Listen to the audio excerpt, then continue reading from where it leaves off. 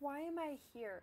Why did I come here? 30 minute bus here, 30 minute bus back for a waterfall that's probably going to be mostly frozen anyway. I've seen waterfalls before. It's fucking cold. My fingers are already starting to hurt. I should have broken in these Docs before bringing them on a trip that would involve walking multiple miles a day. I just want a hot coffee. I miss my coffee shop back at home. These icicles look cool.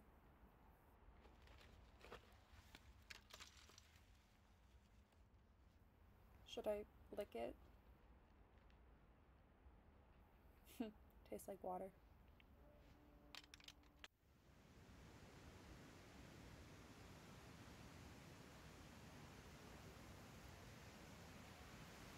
Shit, that's cool. I wonder how much water actually falls every day. I wonder how many people visit every day. I wonder how many things get dropped in here every day. You probably can't ever get those things back once they lose them. I wonder how she's doing, the girl I went to the other waterfall with. How was her semester? She enjoying her dorm? Does she feel like she's found her place? Should I text her? What would I say? Hey, just letting you know that waterfalls make me think of you.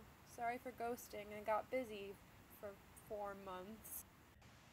I fell asleep and forgot to respond. I typed out a message but didn't press send. I hit my head and got selective amnesia and lost a couple days. I freaked out and overthought everything and retreated. I wonder how thin the layer of ice is on top of the moving water. There's a kid on a sled and his dad is pulling him around. It's cute. I wish I was like that kid. I should have talked to her before I left. Why did I leave? Why did I go on this trip? Why am I here in Quebec instead of at home? I had a little family there, people who loved me and supported me, and I decided to leave all that for what? To see a waterfall? to take pretty pictures for Instagram, to collect stories about international travel and make myself look interesting? No. No, I came to rest and reflect, try new things and disrupt my unhealthy ruts. Disrupt my ruts. Disrupt. Why am I here?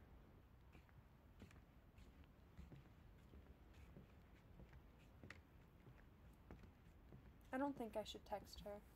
Not right now. Not until I have something better to text her about.